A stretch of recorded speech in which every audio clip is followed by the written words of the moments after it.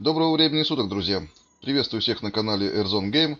И у нас сегодня будет и обзор, и так называемая э, новая жизнь. Если кто помнит или смотрел, я покинул проект Red Age и искал э, себе новое пристанище. И вот э, сейчас открылся новый проект, называется он Shad RP, тень так называемая. Ну и вот на этом недавно открывшемся проекте, а проект всего еще неделя, я и попробую и посмотреть на него, и здесь какое-то время, может быть, посуществовать, а может быть и зацеплюсь. Это покажет время. Пока что я зашел, посмотрел и увидел, что это копия, ну почти точная копия того же самого Red Age, с которого я недавно ушел.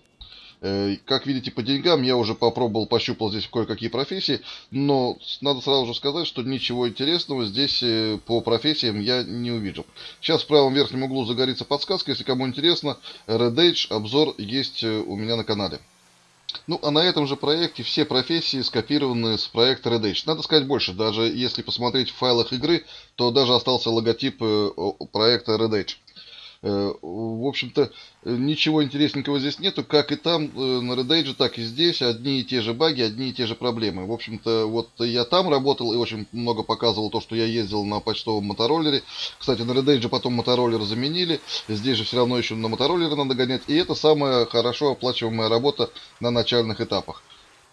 Еще здесь есть работа газонокосильщика, но она на этом проекте, по крайней мере, багнутая. Э, то есть, что я имею в виду, там, когда ездишь по триггерам, триггеры не сразу срабатывают. На некоторых триггерах надо по два, по три раза через него проехать, чтобы он сработал. Поэтому время убивается до хрена, а денег ни хрена не платится.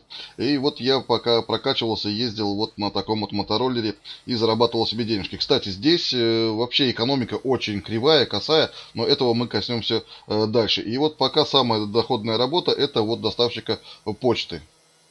Ну и также надо сказать, от того, что вы катаетесь разводите эту почту, растет ваше благосостояние, но не уровень. Уровень здесь зависит от того, сколько времени вы проведете на карте. Ну, меня в один прекрасный момент это задолбало, и я поехал увольняться. Вот, кстати, где находится эта служба, как и на первоначальном Age, э, тоже в этом же месте находилась, но потом они поменяли, потому что это вообще-то здание прачечной. Там даже на стене написано, что это прачечная, прачечный автомат. Вот, поэтому на Red Edge перенесли в более антуражное место. Здесь же она по-прежнему так и стоит, вот в этом вот месте. Я пошел устраиваться на другую работу, потому что у меня апнулся уровень. И, и устройство через на другую работу здесь идет через, э, естественно, ратушу, мэрию, ну, называйте как хотите.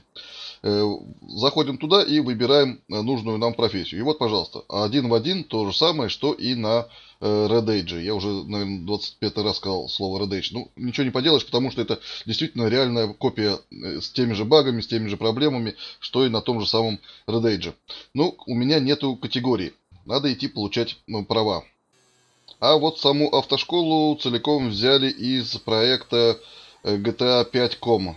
Даунтаун, Страубери, как вы сейчас видите в правом верхнем углу, один в один, взята оттуда, но упрощена. На GTA.com было э, сначала теория, а потом практика. Здесь сразу же практика. Никакой теории здесь нету.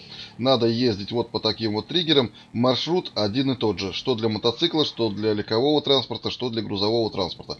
Поэтому особо зацикливаться на этом не вижу смысла. Э, катаетесь, э, ну, надо сказать, что маршрут небольшой. Небольшой, я видел гораздо длиннее маршруты. И там по 10 минут надо было накручивать. Здесь маршрут достаточно короткий.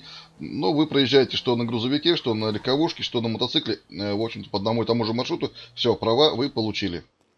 Ну и так как теперь у меня есть права, я пошел устраиваться в автопарк, в автобусный парк, чтобы покататься на автобусе. Как это выглядит, вы видите. Кстати, аренда стоит, в отличие от того же Red Age, опять скажу, э, копейки. 40 долларов, как вы сейчас видели, да, на Red Age это стоило, по-моему, полторы тысячи. Но зарплата все то же самое. 6 э, долларов за одну точку. То есть вы выезжаете на маршрут, маршрут всегда один и тот же. Остановки разбросаны по всему острову, но всегда выпадает один и тот же маршрут.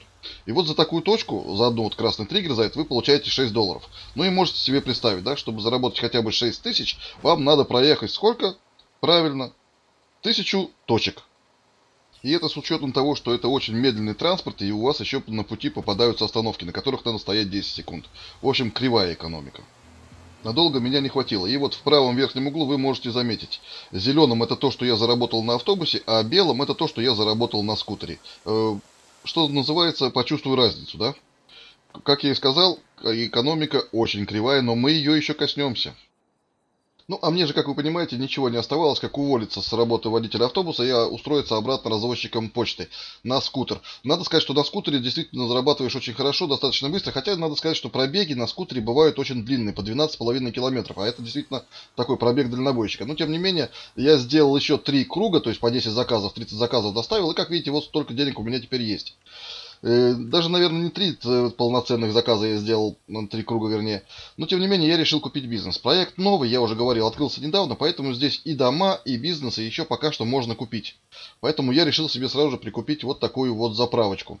Э, здесь все происходит по старинке. Тут нету никакого триггера, в который вы входите и покупаете. Нет, тут надо пользоваться чатом и вписывать какие-то команды. Ну, очень такая доисторическая система, конечно, ну, что поделать. Пользуемся тем, что есть. Далее надо обязательно оплатить налоги, иначе через какое-то время ваш бизнес пропадет, и, естественно, деньги вам за это никто не вернет. То же самое касается и домов. Если вы купили дом, сразу же идите и оплачивайте э, налог на дом. Лучше сразу же побольше ложите, ну, сколько позволяет проект. Этот проект позволяет немного. Порядка 2000 ты можешь положить депозита.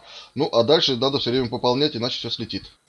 Мне же, несмотря на то, что я стал владельцем э, бензоколонки, заправочной станции, как хотите называйте, э, все равно пришлось сесть обратно за рулем мотороллера и заниматься дальше фармом денег, потому что на этом проекте еще нету дальнобойщиков. А здесь, по условиям проекта, как и на Red опять же, повторюсь уже, наверное, в 30-й раз про проект Red э, вы покупаете себе бизнес, но поставляют вам товар дальнобойщики. Дальнобойщиков нету, народу еще на проекте мало, и естественно, что прокачаться до пятого уровня, а именно столько нужно нужно для того, чтобы работать дальнобойщиком. Естественно, пока еще такого народа здесь нету. Даже у меня, вот я здесь три дня, у меня всего третий уровень э, прокачан. Всего третий уровень. Прокачивается уровень ну, в зависимости от того, сколько времени вы проведете на проекте. То есть стоя, на карте. АФКшите или занимаетесь чем хотите. В общем, вот так. Э, дальнобойщиков нету, поэтому и бензина нету, а налоги платить надо. И налоги э, за бизнес, и в дальнейшем, если я куплю дом, налог за дом тоже надо будет оплачивать. А когда появятся дальнобойщики, бог его знает.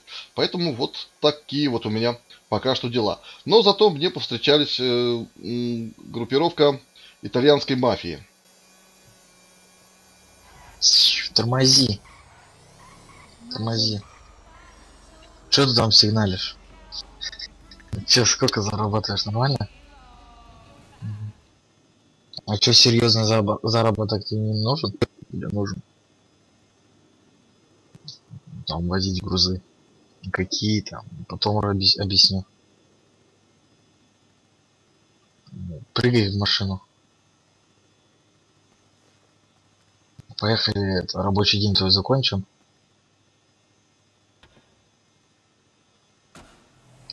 Угу. Сколько у тебя уходит за одну доставку? Ну, вот у нас также платят полторы тысячи за доставку. Но факт в том... А у нас все время по, по полторы. Но это... Так, давай, потом объясню.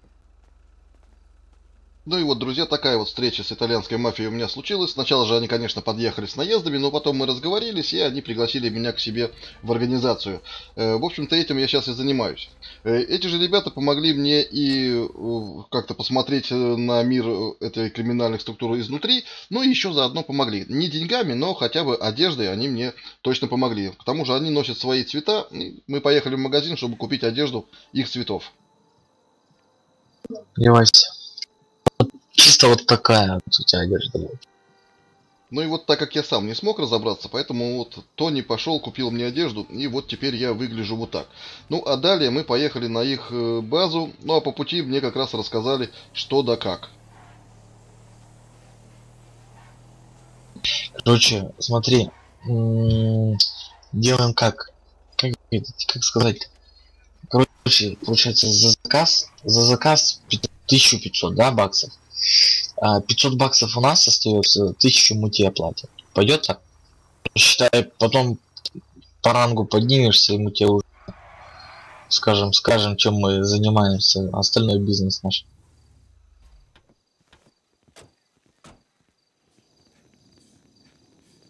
Да. Так, ну на кого понравится тебе, можешь выбрать перевозку оружия, перевозка денег, перевозка трупов. Что хочешь, что выбирай. Ну ладно, посмотришь, понравится, не понравится.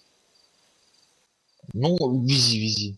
Там, ты же знаешь, да, через диска, этот, Direct Connect и на это на месте появляться. Вот так вот и делай. Так быстрее будет. Намного. Все, ладно, давай, удачи тебе. Ну и вот, друзья, как вы видите, я взял первый заказ, перевозка трупов. Это уже работа, связанная с группировкой итальянской мафии. Я уже как участник приступил к деятельности. Но тут можно много чего сказать, и можно о чем поговорить. Первое, вы слышали, полторы тысячи мне предлагается. 500 долларов идет в общак, тысяча мне. Да, вспоминаем работу почтальона, на которой я за круг делал ну, почти 50 тысяч.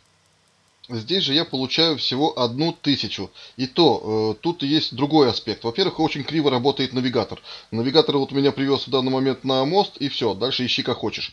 Э, следующее, после того, как вы приезжаете на триггер, машина пропадает. И возвращаетесь вы на базу за следующим заказом э, пешком. Э, помните, Тони сказал, э, пользуйся дисконнектом. То есть, чтобы сократить время, после того, как я доставил груз, мне нужно э, выйти из игры и зайти опять и уже выбрать точку появления база, база мафии.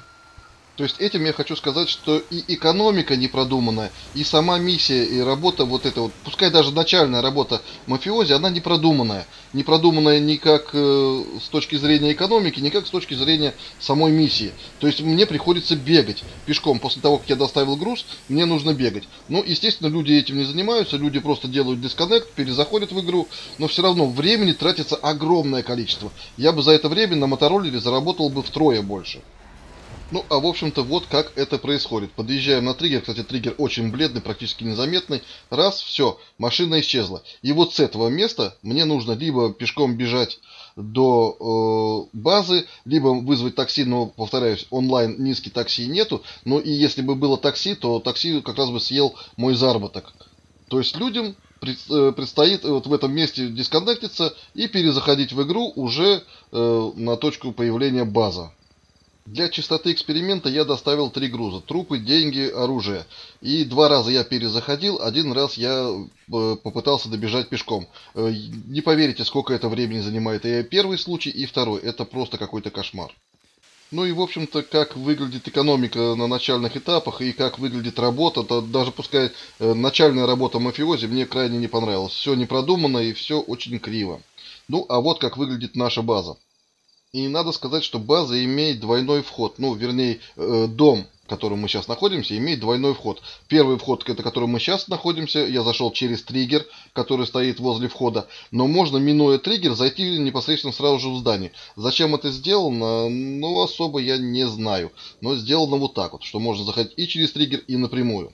Вот. Выглядит очень прикольно, как вы видите, так, ну, антуражненько сделано, есть и такие кабинеты босса, и, ну, в общем-то, антураж присутствует. Ну, это GTA 5, что тут скажешь, здесь всегда все красиво и интересно. Правда, и здесь не обошлось без багов. А баги как раз касаются вот той части, видите, в которой я вхожу без триггера. Напрямую входим в дом, стоит перед нами стол с цветами, потом херакс, и появляется какая-то вот нагромождение коробок, что ли непонятно чего. Потом она пропадет, потом поднимется кверху. Ну, такие вот интересные баги. В целом база очень прикольная, такая теплая, что ли, такая атмосферная. Но вот, к сожалению, отдает какой-то сыростью, недоделанностью, что ли. Вот такая вот атмосфера здесь царит. Ну, а далее мы с коллегами э, поехали стреляться с ментами. Так как народу на проекте еще немного, поэтому и сами менты, и, в общем-то, вот э, бандитские группировки ищут себе вот такие вот приключения. И это как бы неплохо, потому что действительно чем-то заняться надо, пока онлайн еще только-только начинает расти. Поэтому чем-то надо позаниматься, поэтому поехали стреляться. Не грабить кого-то, не трогать мирное гражданское население, а просто стреляться с ментами. Надо сказать, что и менты и сами совсем не против постреляться, потому что, ну, сидеть в управлении очень скучно, поэтому ищут вот такие вот приключения. Достаточно весело и интересно. Еще раз скажу, что слава богу, что не грабите гражданских, потому что тогда бы я бы, наверное, просто сразу же вышел нахрен.